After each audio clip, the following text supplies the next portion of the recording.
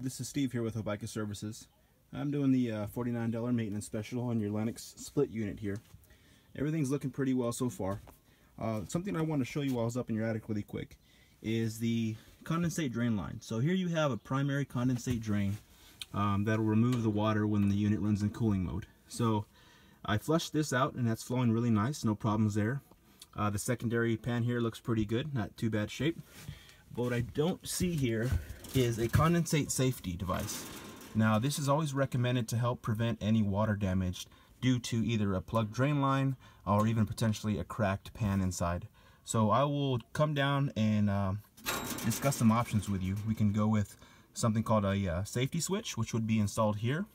Uh, we can also go with something called a flood preventer wet switch, would, which would be uh, installed here.